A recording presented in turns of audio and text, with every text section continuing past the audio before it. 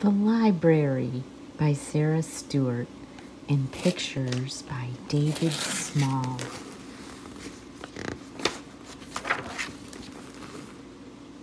Elizabeth Brown entered the world, dropping straight down from the sky. Elizabeth Brown entered the world, skinny, nearsighted, and shy.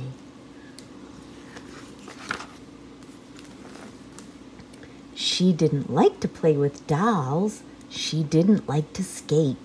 She learned to read quite early at an incredible rate. She always took a book to bed with a flashlight under the sheet. She'd make a tent of covers and read herself to sleep. Elizabeth Brown went off to school dragging a steamer trunk. Elizabeth Brown unpacked her books, breaking the upper bunk. She sat in all her classes and doodled on a pad, adrift in dreams of entering a reader's Olympiad.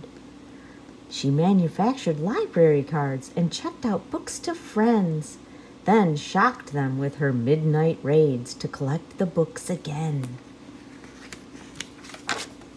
Elizabeth Brown preferred a book to going on a date. While friends went out and danced till dawn, she stayed up reading late. She took the train one afternoon and promptly lost her way, so bought a house and settled down to tutoring for pay. Elizabeth Brown walked into town, summer, fall, winter, and spring. Elizabeth Brown walked into town looking for only one thing. She didn't want potato chips. She didn't want new clothes. She went straight to the bookstore. May I have one of those?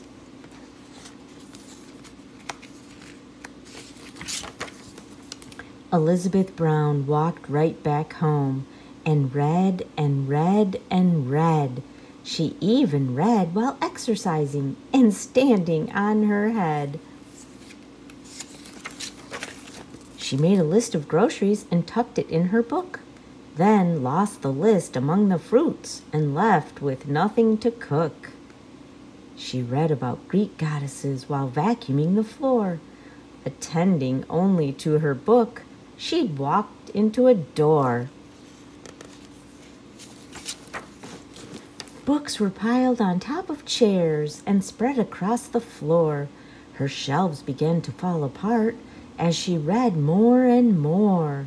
Big books made very solid stacks on which teacups could rest. Small books became the building blocks for busy little guests.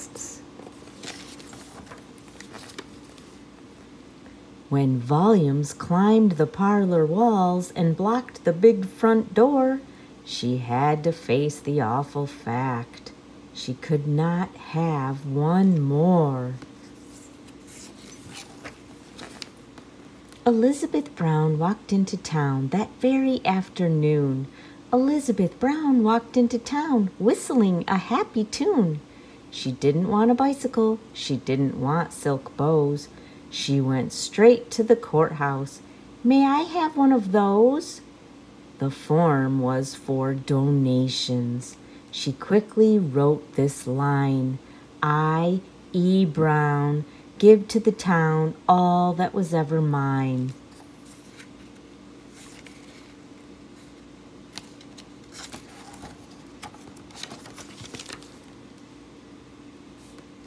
Elizabeth Brown Free Library.